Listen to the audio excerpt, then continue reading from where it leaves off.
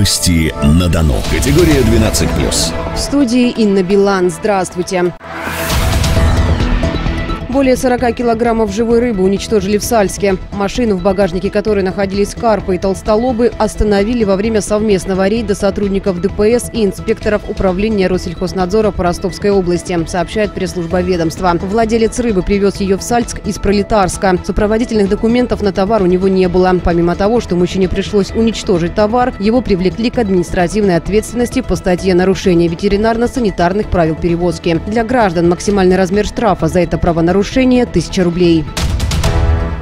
В Волгодонском районе Ростовской области введен карантин по АЧС. Соответствующий документ опубликован на официальном сайте правительства области. В частности, неподалеку от хутора Холодного на прошлой неделе были обнаружены трупы свиней, зараженных АЧС. В настоящее время на территории Волгодонского района специалистами проводится ликвидация инфицированных объектов и предотвращение распространения возбудителя АЧС. На период карантина запрещается перемещение и перегруппировка животных, их убой, а также продажа и заготовка кормов.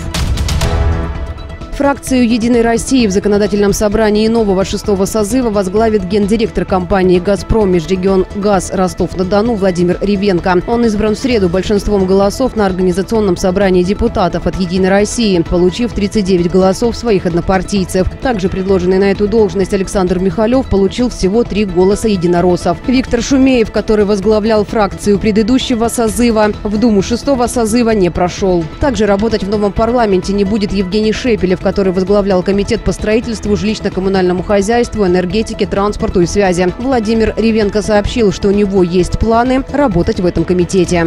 Задачи те же, которые стояли перед депутатами пятого созыва, достойно представлять интересы избирателей. Я бы хотел принять участие в комитете, участвующем э, в структуре ЖКХ и по промышленности. Решение об избрании руководителя фракции предстоит утвердить региональному политсовету партии, который соберется сегодня, 13 сентября.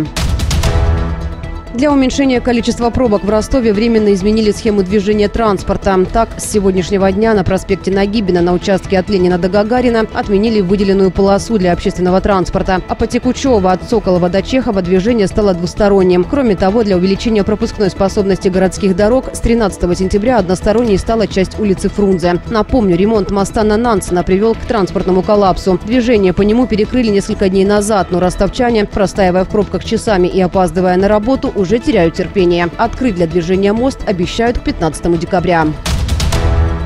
Новый индустриальный парк построят в Оксайском районе неподалеку от аэропорта Платов, сообщает информагентство Дон24.ру. Инвестором выступит крупный девелопер, который построил уже 26 таких объектов в различных регионах страны. В Оксайском районе планируется возвести сооружения различного назначения, которые могут быть использованы под склад, распределительный центр или производство. Разработка всех объектов будет производиться с учетом потребностей заказчика. Резидентами парка могут стать логистические и дистрибьюторские компании, ритейлеры или производственные предприятия предприятия. Аналогичные инфраструктурные объекты действуют и в других районах Ростовской области. Это были новости на FM на Дону. Телефон редакции 200 ровно 0849. Еще больше новостей читайте на сайте don24.ru. С вами была Инна Билан. И о погоде. Категория 12+. По информации гидромедцентра Ростовской области, в Ростове и Таганроге днем до плюс 29 градусов. Переменная облачность и без осадков. В Сальске целине плюс 30. Белой Калитве, Красном Сулине, Волгодонске плюс 28. В Миллерово и Тарасовском плюс 27 градусов. Также переменная облачность и без осадков. Ветер переменный от 3 до 8 метров в секунду.